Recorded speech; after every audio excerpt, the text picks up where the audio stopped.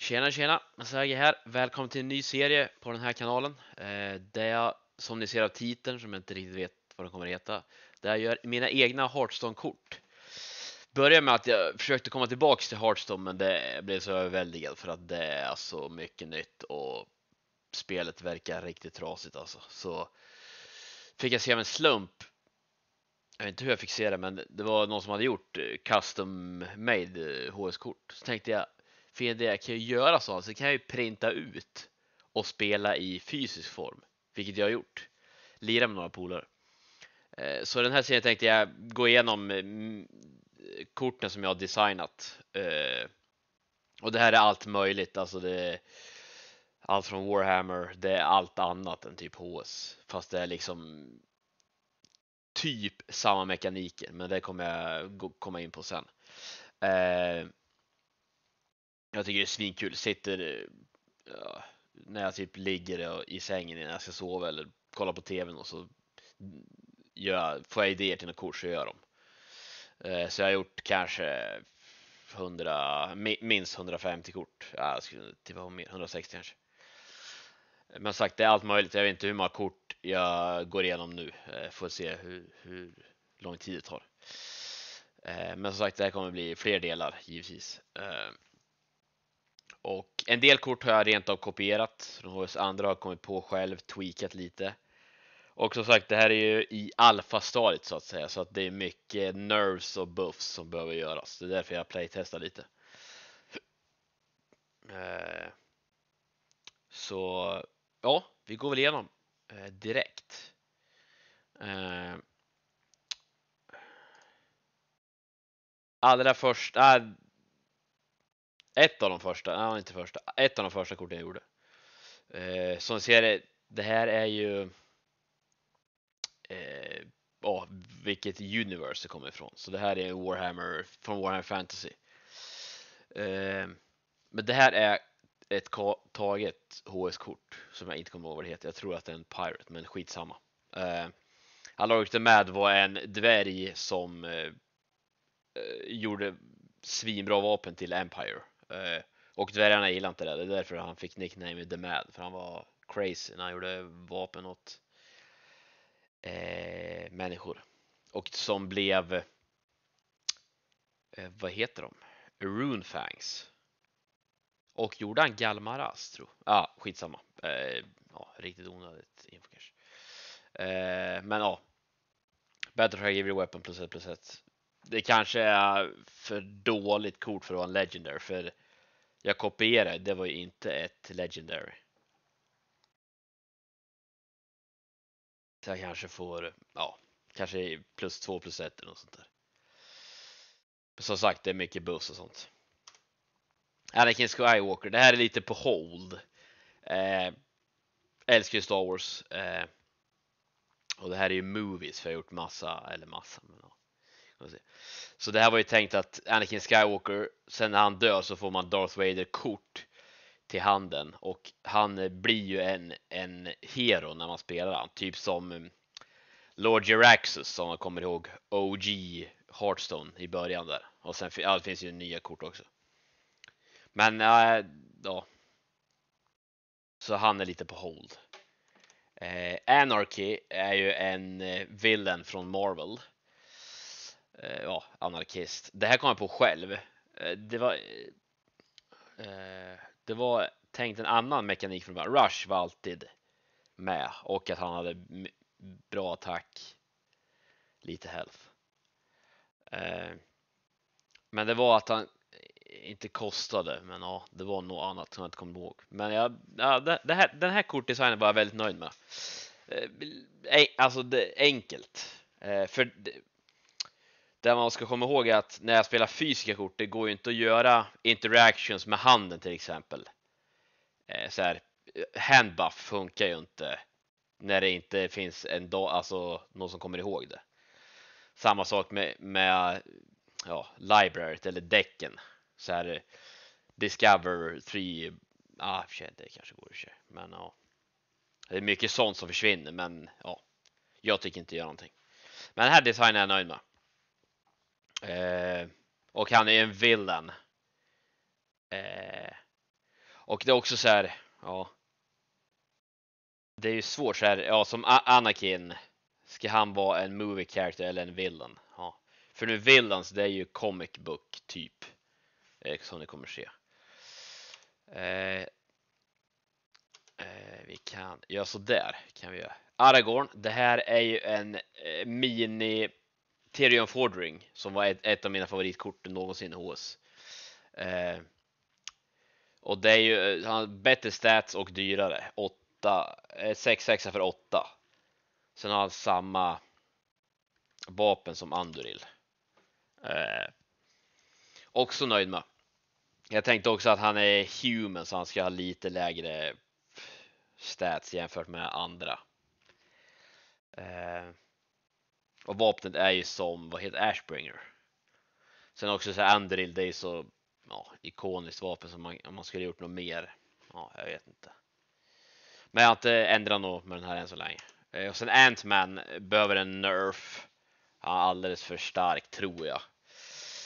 Eh, han har sett lite spel. Som sagt, jag har ju inte gjort 30 kort däck att spela med utan jag har ju typ tagit alla kort att spela med. Så att man har sett.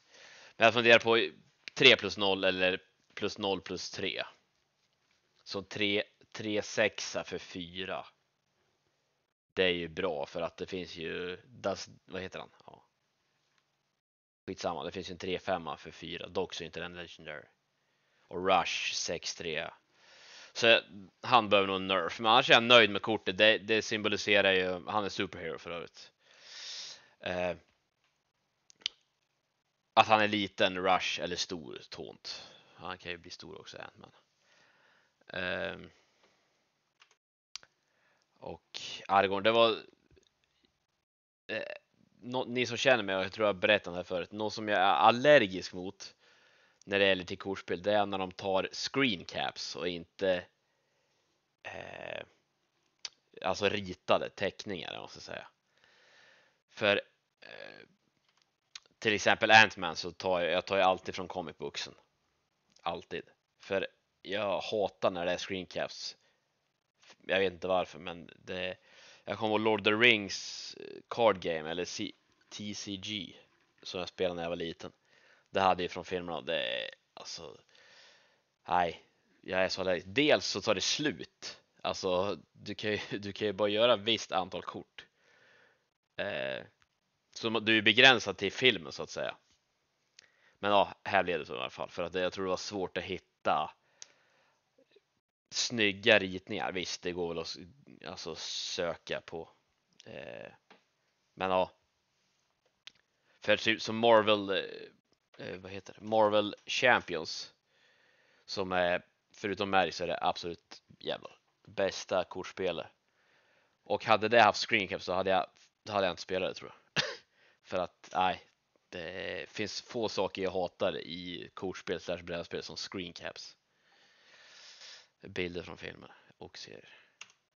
Arsene Wenger, jag, måste, jag älskar ju sport. Eller älskar, ja. Fotboll kollar inte så mycket på men jag kollar mycket sport genom mina år. Och det här är en legendarisk Premier League Arsenal-tränare. Eh, det är svårt att veta om han är broken. Eh,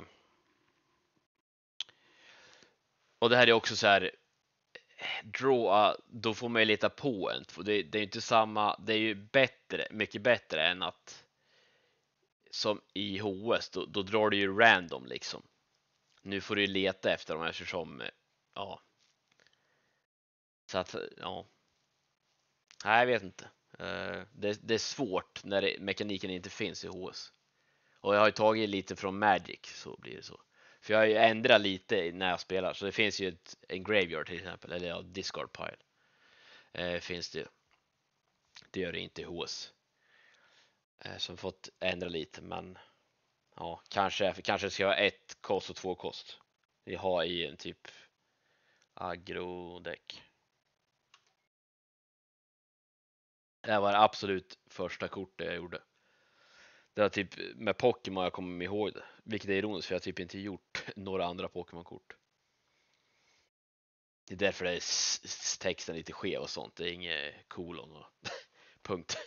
Eh, men mm, det här var tänkt att han hade liksom fyra Pokémons.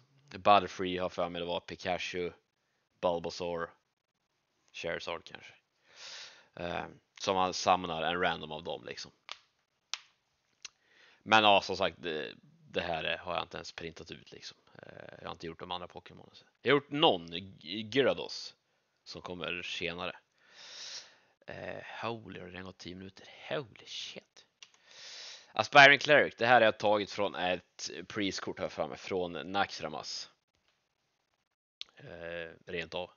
Och det är så här human, det, jag vet inte riktigt, ja. Det är svårt att veta vad man ska sätta för types, för det jag eh,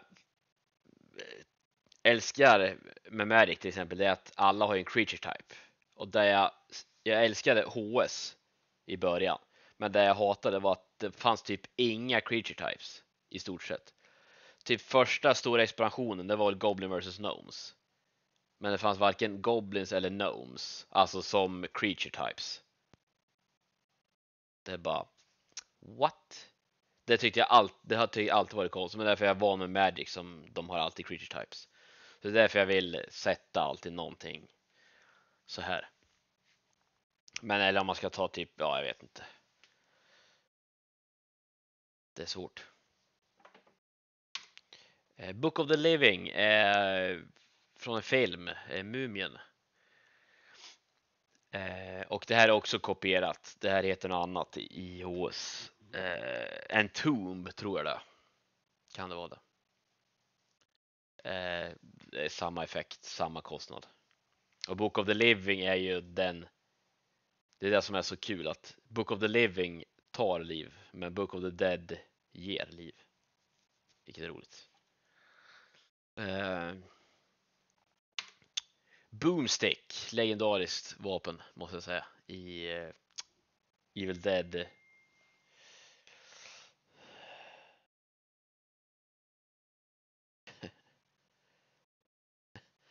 Eh, Evil Dead-filmerna. Också så här, det är svårt eh, ja, om det är balanserat. Två durability tänkte jag för att det är dubbel PP shotgun. Fyra för tre. Eh, också ett, ett, alltså verkligen vanilla vapen. Ett av de tidigaste korten jag gjorde. gjorde. Eh, ja, basic. Jo, det också, det måste jag också påpeka. Ni har ju sett att det bara varit eh, Warrior och eh, Paladin. Det är för att jag har delat in det i Evil och Good så att säga. Så att det är två klasser om man säger. För att det hade varit för omständigt att göra, ja, det hade jag aldrig orkat. Olika klasser och sånt. Och sen finns det neutrala som ja, båda sidorna kan ta givetvis. Eh, så att, ja. Eh, det var planen i alla fall. Eh, Brandenburgers. Jag älskar min militärhistoria och det här är elitförband från eh, Nazityskland på, under andra världskriget. Brandenburg som infiltrerade ja, olika länder, stationerade, lärde sig språket, kultur och sånt. Och därför de har stealth och 4-3, tänkte de aggressiva. Eh, och sen är det military, en unit type. Som finns, ja, både evil och good och neutrala givetvis. Eh, men, eh, ja.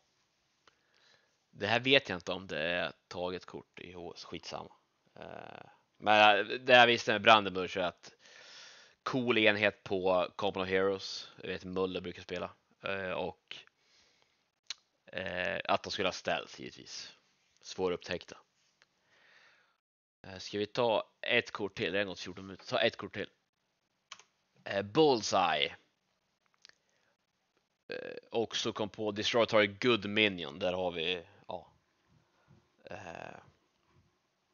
Det här kom jag, tror också kom på. Bara tänkte att det passade Bullseye. Bra assassin så att säga. Sen också så här. Det är svårt att veta Ska han kosta fem? Ja, kanske. Han har typ inte sett, ja, sett lite play. Men ja, jag vet inte. Eh, också villan och sen får man ju liksom eh, spinna vidare på det liksom. Geva villan plus två plus två och sånt. Eh, när jag mer establishar. Sen kommer jag släppa som expansioner som kanske fokuserar på en typ åt gången så att säga. Nu har jag ju blandat Evil Good, Villain, Movies, Youtube, alltså allt som jag liksom tycker om typ. Eh, Warhammer, you name it. Eh, ja. eh, så nu har jag verkligen blandat hej vilt. Så det, det, är ju, nu har vi liksom bara spelat med alla kort liksom. Nu har vi inte gjort en viss däck liksom. Bara för det här är mest för att speltesta bara. Så det är fortfarande i alfastadiet så att säga. Mycket balansering och sånt kvar. Eh, men det var väl allt eh, för detta avsnitt. Men det som sagt kommer jävligt kul i varje fall. Eh, kommer komma fler avsnitt. Riktigt roligt. Men som sagt kommer dyka upp fler. Hoppas ni tyckte det var kul i alla fall. Jag tycker det är svinkul. Bara säga till om ni har något tips eller något. Eller om ni vill ändra något kort så bara skriv i kommentarerna. Men som sagt eh, riktigt kul att designa kort och komma på och få nya idéer hela tiden. Försöker skriva ner så fort jag kommer på på jobbet hemma i bilen. Eh, men ja, det var det i alla fall. Eh, ha det gött alla så hörs vi i nästa del.